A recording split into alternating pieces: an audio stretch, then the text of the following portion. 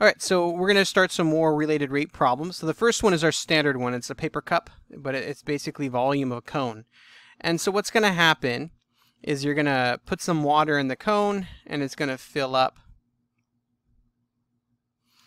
And in each of these instances, we have rates of change. Our volume is increasing, and so you could see, you could find the rate of change at that moment. The radius is changing, and the height is changing. And so we're going to get these variables. You want to focus on the thing that is changing. So in this case, the height, the radius, and the volume. These are the things we're looking at. The paper cup is not changing, it's the water inside. So that's our focus on these problems, the water. So let's look at this problem. A paper cup has the shape of a cone with a height of 10 centimeters and a radius of 3 centimeters. If water is poured into the cup at a rate of 2 cubic centimeters per second, how fast is the water level rising when the water is 5 centimeters deep? So this whole thing is about the water changing. This is the paper cup. So those are not part of the problem. We will use them, but they are not numbers that you want to plug in for your radius, heights, and volumes. It's what's changing. And it says here that our volume, and it didn't even say volume, but the reason I know is because it's cubic centimeters per second. And so they're telling us to take this with respect to t because we're getting dv dt, and this is v prime. That is giving us our dv dt. And then it says how fast is the water level rising? Well, that's our height prime then. That's our dh dt, and we don't know that. That's what it's looking for. So you can take it now and fill them in. So if you've already written out all of the variables, and put r primes. If you have an h, you have an h prime. You have a v, you have a v prime. You have an r, you have an r prime. The reason is you have an r prime is if you have some radius that's a variable, well, it's changing. And if you have a height that's changing, well, it's got to have an h prime then. And if v is a variable, that means it has to change. 10 is not changing. So if you were to take the derivative of 10, you would get 0. The cup is not changing, so its rates of changes are 0 but each of these have to have a variable then. Okay, so now our h here would be 5 centimeters, so we know our h. Now if we go down to our problem, you see we have a v, an r, and an h. And yes, we can do product rule on this with the r and the h, and then we have to find r prime and r and h. It's too much work. So what we want to do is keep this simple. If we are given h and h prime and v and v prime, then we want to use this formula. So what we have to do first is get rid of this r. And that's where the 10 and 3 come into play. So this triangle right here is proportional to this triangle. And so if we write those side ratios, those sides, they will give us a proportional ratio because they are proportional. So r is to h as 3 is to 10. And the reason we're getting rid of r is because h is given, so we're going to go for h. And they're also looking for h prime. So we solve now for r because we want to get rid of r. So r is equal to 3 tenths h. You're just multiplying both sides by h. And then now we can plug it in. So v equals 1 third pi, and then 3 tenths h squared h. And so if we simplify this some more, we end up with v equals, what would that be? 3 over 100 pi h cubed. This would become 9, and then cancels with the 3. The 10 becomes 100, and then we have an h cubed and a pi. So now if we take the derivative with respect to time,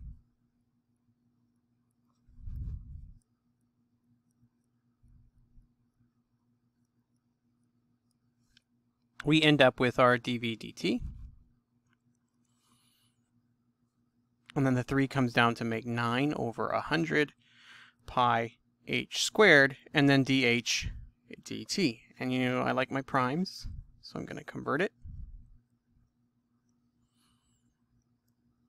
And you'll notice now that we have everything we need. If you look up there, well, in order to find this, we need a v prime. So in order to find h prime, that's what we're looking for, we need a v prime and an h. Well, there we go. We got them all. So if we plug them in, that's 2. 9 over 100. 5 squared h prime. We can now plug this in our calculator and find the answer. So 2 equals 7.0686. And again, these are rounded off only for here. Make sure you plug the actual input in your calculator. So dividing it gives us 0.2829. And then we need our units. So if our volume is in centimeters cubed, our height is going to be in centimeters per second. And so this is 0.2829, so about a quarter of a centimeter per second. So what that means is at that moment, right here, when it's at 5, the water is going to come in at 2 cubic centimeters per second. We expect the water to rise by 0.2829 centimeters in a second. So about a second later, it should be 0.2829 centimeters higher. And that's how you solve them. So we create a formula. If you need to replace one variable to make everything fit with what you're given, there you go. Now, if you wanted to, you could plug 5 in to over here, and it would give us a radius. And if you took the derivative of this, well, guess what? You would get dr dt equals 3 tenths dh dt. So you just have a formula now for the rate of change between dht and dr dt. There's a lot of ways of getting there, but if you can replace the variable to what you need, it just makes it a lot simpler. All right, one more. So a balloon is rising at a constant speed of 5 feet per second. A boy is cycling along a straight road at a speed of 15 feet per second. When he passes under the balloon, it is 45 feet above him. How fast is the distance between the boy and the balloon increasing 3 seconds later? So let's look at a picture of what's happening. So the bike's speeding along, the balloon's going up, and so you can see we have three variables. And what shape do they make? a triangle. So as the boy, balloon, as the bike is here, it's 45 feet above him, and then the bike continues off, and the balloon continues up. And so we're looking for this right here. But we have two variables, and we can call them any letter we want.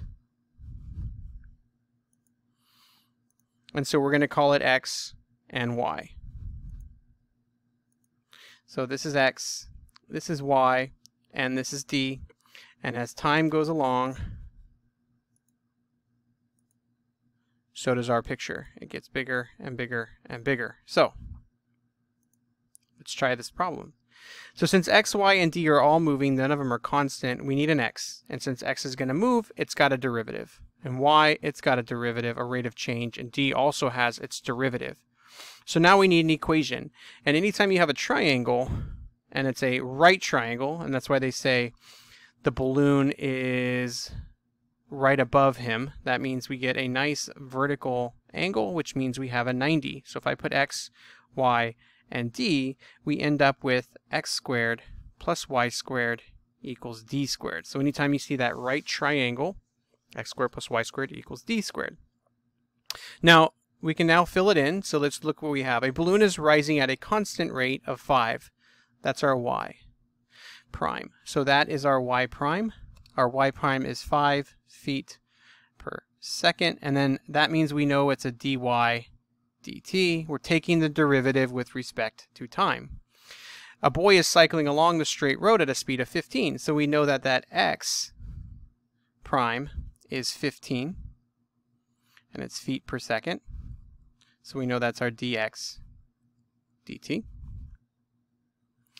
When he passes under the balloon, it's 45 feet above him. So that means our y is already started at 45. So when we fill in our y, we have to make sure that we include that number. That's all that is, is that we have to make sure we don't forget about it. So anytime you have distance uh, speeds like this that are given, they usually give you a time. So how fast is the distance between the boy and the balloon increasing? Three seconds later. So if they give you a time, they're also telling you the dimensions of that triangle at t equals three seconds. And so we can find each of these values.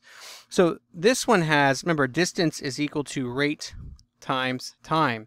So that means our x, which is traveling at 15 feet per second for 3 seconds, would have a distance of 45 feet. Now the y, it already started at 45. So it's going to get an additional distance at 5 feet per second for 3 seconds. So that would be 15. So that means this total distance is 60 feet. So when this moves, we're talking about it already starting at 45 feet, and you can see the balloon is not moving as fast as the bike. So at 3 seconds, we've got to include that 45 feet right here, plus the 15. And then this one's going at 15 times 3, so that's 45. So that's why we have to make sure that we get the 60 feet on that one. Because it started out at 45 and then it went up 15. So 45 up 15. So this one is 60 feet. And then now, if we know that's a 90, we can use our a squared plus b squared equals c squared. In this case, our x squared plus y squared equals d squared. So x here is 45, y is 60, and that will give us our d squared. So if we square root that, it's our distance formula. And if you plug that in your calculator, you'll see it says 75. So now we know our x is 45 feet, our y was 60 feet, and our d is 75 feet. So now all we need to find is d prime, and that's what it's asking for. How fast is the distance between the buoyant and balloon increasing? This right here. So again, how fast is that blue line increasing? So if we take and plug it into our derivative, we take the respect the derivative respect to time, we get 2x and then dx dt plus 2y dy dt equals 2d dt dt. So 2x times plus 2y times equals 2d d prime. And we make sure that we have everything. So in order to find d prime, we need all of these. We just have to plug them in. So our x is 45, and our x prime is 15. Our y is 60, and our y prime is 5. Our d is 75, and then we have our d prime. So if we plug all of that in our calculator, we get 1950 equals 150 d prime, dividing we get 13. So 13 feet per second is how fast at 5 seconds, at 3 seconds, that's how fast the distance between him and the balloon is changing. So just to get a little perspective, I put that at 3. This right here is changing at 15 feet per second. The top is increasing at 5 feet per second, and the distance between them at 3 seconds is increasing by 13 feet per second. That's what it's changing. And now if you wanted to do the whole thing again, you could do it at 4 seconds.